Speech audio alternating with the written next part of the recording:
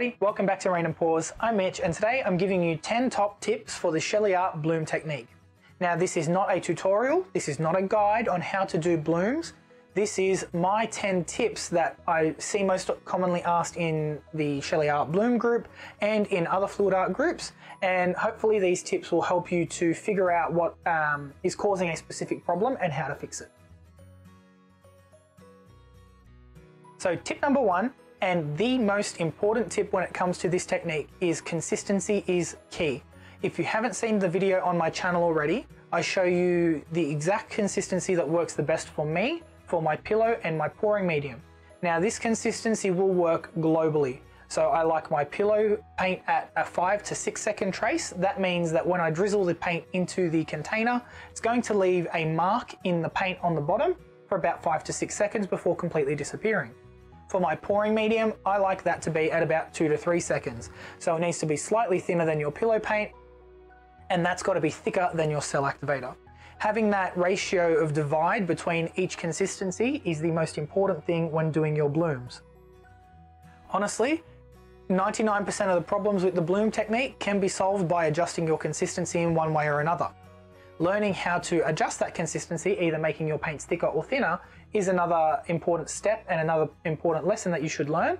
Again, I address that in my consistency is key video, which I will link in the card above, and you can find that on my channel as well. Tip number two is to use the correct ingredients. If you are doing this technique, you need to have the right ingredients.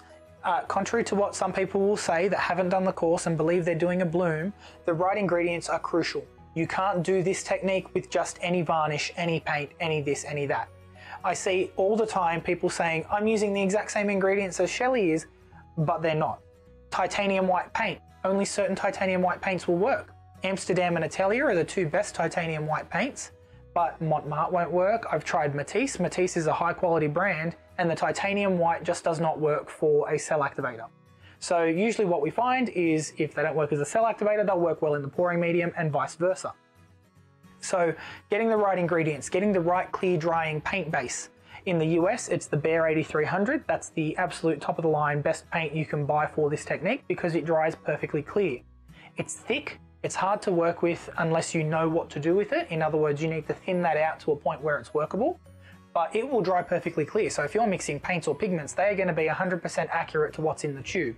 Here in Australia, we use the Taubmans Neutral, and that is the best paint for us. Uh, in the Sheleeart Bloom course, you get access to a handbook and all of the paints recommended for the different areas around the world that we know of, they are recommended in there. So if you are interested in learning this technique and doing this technique, you can take that course at sheleeart.com.au to get access to that handbook. Tip number three is that the Aussie Floetrol is key. There are so many people in the world at the moment uh, saying that I've got a recipe for cell activator that doesn't use Australian Floetrol and it looks exactly like Australian Floetrol. But the fact is, no matter how much you try, it's never going to look like Australian Floetrol. Uh, you can get close, but you can never replicate it exactly and it bores me to death that people say, I found the missing ingredient that's in Australian Floetrol and that's not in US Floetrol. You're never going to know unless you work for Flood Flow Floetrol and you know the difference in the chemical formulations between Australia and Europe and America until you become that person and you become the chief chemical engineer that knows exactly what that ingredient is and what the difference is between all, all of the different iterations of it around the world, you cannot possibly say that you know what that key ingredient is but the fact remains that it is crucial to this technique. People have been finding success with using US Floetrol watered down 10 to 1 with um, their paint. So using 10 parts US Floetrol to one part of their chosen uh, cell activator color. However, the result is not exactly the same. There's just something about the Australian Floetrol that gives the cells a really nice shape, a really nice consistency, and just helps them to hold up. Whereas the US Floetrol yeah, you can get similar to that, but it always you can always tell on the edges of the lacing, it sort of breaks up a little bit. And that's just because you're not using that missing ingredient that's in the Australian Floetrol. So tip number three being Australian Floetrol is key. If you are looking for Australian Floetrol, Fluid Art Co sells it worldwide. So fluid-art.co. You can get that in Europe, USA, Canada, the UK, and in Australia we can get it from Bunnings. So you won't find that on their website here. Tip number four is to not whip your paints. Whipping your paints is the first way that you can introduce bubbles into your paint. And with this technique, you will see them in your final result. Because the paint is a little bit thicker than normal techniques, often it is the thickest pouring technique that you could get away with, uh, you will see those bubbles as they come to the surface. So a couple of ways that you can reduce bubbles in your paint is to mix a day or two beforehand. Your paints will thicken up over that time, but you can give them a gentle stir. And by mixing them a day or two in advance, all the bubbles will come to the surface. Tip, uh, the second thing you could do is use the brand new Fluid Art Co paint mixers. I was skeptical about this because I'm just using an IKEA one at the, I was using an IKEA one before a couple of days ago and I got sent this in the mail and there is a key difference between using this and the IKEA one. The IKEA one does not spin. It just wobbles side to side and vibrates side to side. This one spins. And as it spins, it's whipping your paints in a circle rather than frothing it. So I actually want one of these for my coffee because it, it just works so well. I was absolutely surprised. I mixed up paints yesterday for a pour and it does not introduce any bubbles at all as long as you keep it under the surface of the paint. So using a paint mixer like that underneath the, the level of the paint is a great way to mix it without introducing bubbles. And the third thing I would say is don't whip your paints. Mix them gently, scrape the sides, scrape the bottom, and just fold your paints in. If you whip them and you introduce too much air, you're gonna be left with those bubbles and you'll never get rid of them. Tip number five is about temperature. Ambient temperature in your working area is crucial to drying your blooms. If your temperature is too cold, you're going to end up with warped cells and your paint's not drying quick enough so your cells can disintegrate, your paints won't dry, and they're just gonna look terrible. If you're working in an area where it is too hot, your paints will dry too quickly and you can face issues like cracking and crazing. And yeah, again, you're not you're just not gonna get the result that you're after. So paints dry best between 20 and 30 degrees Celsius, which is about 68 to 86 degrees Fahrenheit. So if you can regulate the temperature of the room that you're in, that's really gonna help your blooms dry the best that they can turn on an air conditioner either on heat or on cold and just keep that running while you're painting and for a couple of hours after you've done your painting. Once that initial film sets on the top of your paint, you should be good to turn that air conditioner off. But if it's going to be, you know, negative four degrees Celsius overnight, leave that air conditioner running all night. Yeah, it's an extra added cost and it does rack up some power bills, but for the sake of your art drying properly, it's better to spend a couple of dollars on electricity than it is to spend on a whole can of paint on a commission artwork that you ruined because it was too hot and it dried too quickly and cracked. Also, the temperature that you work in will affect the working time and drying time of your paints and also with resin. So if you're operating with resin, uh, you fall into that category again, 20 to 30 degrees or 68 to 86 degrees Fahrenheit. Um, if it's too cold, your resin won't set, same as your paints, and if it's too hot, they'll set too quickly. So it also affects your working time. Uh, if it is too warm, you'll have less time to work with your paints than uh, if it was too cold, for example. That will also affect the consistency of your paints. So if it's too hot, you'll find that your paints are often really thin and runny. And if it's too cold, you'll often find that your paints are really thick and gloopy that can change in a matter of hours. So I have mixed up paints perfectly, used them one day, come back the next day, it's been slightly colder overnight, and all of my paints are thick, gloopy messes. So you'll have to adjust your consistencies based on temperature of the day and the time of day really too. So if you paint in the mornings, it's gonna be a lot cooler, your paints will be thicker. If you wait until the heat of the day, your paints will naturally thin out a little bit. Tip number six is not all brands of paint will work. So I address this in tip number one or tip number two. Um, not all brands will work as a cell activator and not all brands will work as a pouring medium. So for the longest time, Shelee was under the impression that Atelier Interactive did not work in the pouring medium just because of how thick and gloopy it made them when you mix them up. However, after a bit of experimenting on my behalf, I found and showed her that, yeah, you can use them in your pouring medium, but it takes a lot more work and they will thicken up a lot quicker than other paints will over time. So for example, if I'm using a Matisse paint and I'm using the same color in an Atelier interactive paint, they'll both work well in the pouring medium, but the Atelier will thicken up twice or three times as much as the Matisse paint will in the same time of working with them. So you'll constantly have to adjust the consistency of your Atelier paint compared to the Matisse. Also in saying that, most Atelier paints will work really well for a cell activator, but some Matisse paints work great in the pouring medium and not in the cell activator. It really is a hit and miss and it's just how those individual paints are formulated, what's in their binders, what's in their pigments, and how they interact with that Australian Floetrol to give you those really nice cells. So if you want to find out if a colour will work as a cell activator, the only way to do it is to try. Tip number seven is to use quality paints. Don't cheap out on your tube paints and don't cheap out on your house paint. So we recommend certain paints and ingredients for a reason, and it's because the quality matters when you're doing blooms. If you use cheaper paints, they often have less binders, less lower quality binders, lower quality pigments, and less pigment physically present. So what you'll notice is if you use those cheaper paints in this technique, as soon as you blow those out and you start to spread them over your pillow, they're going to break apart. And that's just because the binders are not strong enough to keep the pigment bound in that solution, and there's not enough pigment physically present that you can stretch them to give that really nice thin layer. So what you have to imagine is, for example, a bed sheet. Imagine your paint's like a bed sheet, and when they're in the tube, they're scrunched up into a really nice tight ball, and it looks really nice and dense and compact. But as soon as you blow on them and you use them in a bloom and you spread them out, that sheet becomes really, really thin. So while in a ball, everything might look opaque and looks, you know, you can't see through it, as soon as you spread that out, that sheet goes transparent. You can almost see straight through that bed sheet, or at least you can see some light coming through. The same goes for pigments and, and paints for, for that matter. So if you stretch them too far, you're eventually going to put a hole in that paint and that will display as either flocculation or crazing depending on if you're using a paint or a pigment. So using a higher quality paint is going to mean that you're going to have more pigments suspended in that solution, higher quality binders, more expensive ingredients to make that paint a higher quality, and you're going to see that in your final result, especially with the bloom technique.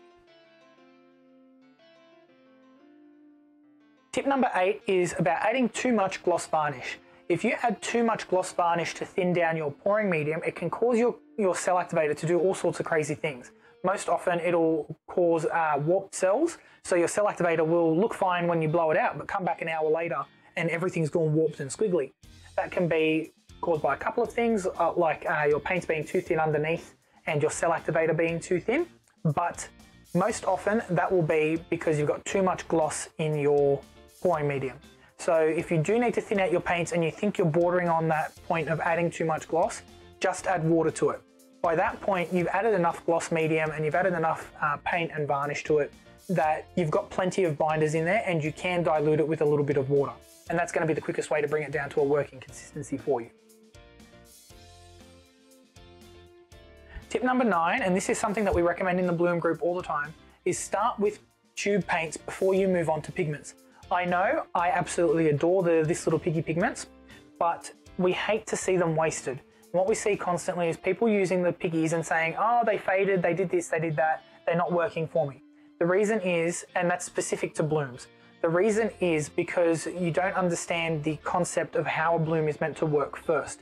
And oftentimes we will see that the person using those pigments, and it could be from any brand, not just TLP, uh, the reason we see that is because they don't actually know how to bloom just yet. So what we say is use tube paints. In this instance, we say use a cheaper brand of tube paint so you can understand how consistency works and how the cell activator interacts with it.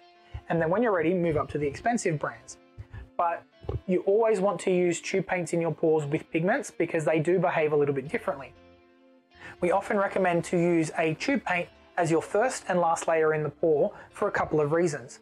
For the base layer, that will prevent or hide flocculation. It's not going to prevent it because some pigments just are naturally bigger in particle size, so you're going to see that if you're using it over a light base. So using a similar coloured tube paint underneath is just going to mask the gaps in between each particle so it doesn't look like they're breaking apart. So for example, if I'm using this little piggy Grenache, which is a really nice red colour, I will find a similar coloured red or just another coloured paint to go underneath this as my first layer on the pour and that's going to mask if this paint, uh, if this pigment for example breaks up and I start to see flocculation, I'm not going to notice it because there's a paint underneath masking that. And the paint is often going to have their pigments ground super, super, super fine. Like you're never going to see the grains of pigment in a paint compared to a pigment powder. And that's any pigment powder again, not just TLPs. So by having that underneath, you're going to mask the gaps in between the pigments by having the tube paint as the last layer under the cell activator, it's going to help that cell activator stay afloat as it can tend to sink, I guess, through the pigments. So the way I would imagine it is you've got a sandcastle and a piece of string. Your cell activator is the piece of string, and if you just pull that down through the sandcastle, it's going to cut through it. So the pigments and the particles of sand are just going to move apart and allow that cell activator to fall through. So what you'll find is if you put your, your pigments as the last layer before your cell activator, your cell activator will give you really thin, fine lacing and no uh, cells. So using that paint last layer will help to float that and you'll get a lot more cells in there. What we recommend is to do tube paint, two pigments, tube paint, two pigments, tube paint, two pigments, so on and so forth. You can use as many as you like as long as you're using a tube paint in between somewhere. Um, and that's just going to help one, prevent flocculation, two, hold up the pigment, and three, make them more visible and uh, prevent that cell activator from doing those weird things that it does uh, with pigment. Tip number 10 is to put enough color in your puddles. Oftentimes we'll see people saying that their colors didn't spread well or it's not reaching the edge of the canvas. And the sole reason for that is you're just not putting enough color in the middle. For a uh, four inch tile, I actually have a video on this called Paint Volumes, which I'll remember to link. And for a four inch tile, I try to cover two thirds of the painting with my pillow paint and the other two thirds with my colors. So that way when you blow them out, they're gonna spread all the way to the edge. Now, depending on the effect you want, you might not want that, but as a general rule, if you want full cover cover, if you want full cover, if you want full color coverage, uh, you'll need to put down a fair amount of uh, paint onto your canvas so that it will spread all the way. And here's a bonus tip for you all. Tip number 11 is ignore the rules. So Often we recommend to use a tube paint before a pigment or do this or do that. the end of the day, it's just painting. You can do whatever the hell you want to do with your painting. It's art, it's your art, it's your expression. Everyone has the right to experiment, everyone has the right to play around. The reason we make these recommendations, especially for beginners, is because they are the easiest way to get into the bloom technique. And that would go for any pouring technique. A lot of people will say if you're doing a flip cup or a straight pour, don't add silicone right away because the silicone adds another level of complexity to the technique. So using paint and water is the best way to start with a Dutch pour, but then you can start modifying your mix by adding in glue or uh, Floetrol or this or that to give your paints a different technique. So understanding why those ingredients are there and understanding why you start with the basics and move on to the more complicated stuff is like learning to crawl before you can walk. So you need to take baby steps. We recommend those baby steps to everyone that's starting out. And then as you progress and you can understand why this component acts like that and why you need to use this over this, why you need to layer it that way, once you understand that, go ahead and do what you want. It's entirely up to you and we're there to help answer questions and that's what this channel is all about. It's helping to answer questions and show what you can do with this technique. But again, those rules are there and the, the guidelines are there or the recommendations are there to help newbies out. If you're a professional, if you feel like you're at that level where you can take on that painting and, you know, change absolutely everything about the recipe, go ahead and do it. But just know that if you ever need to come back to basics, that's where you're going to start. So there you go, that's my top 10 tips on the Sheleeart Bloom technique. Hopefully they help you to understand the technique a little bit better and why we use certain things um, over others. And if you're liking what I'm doing here, don't forget to like and subscribe, and I'll see you next time. Bye.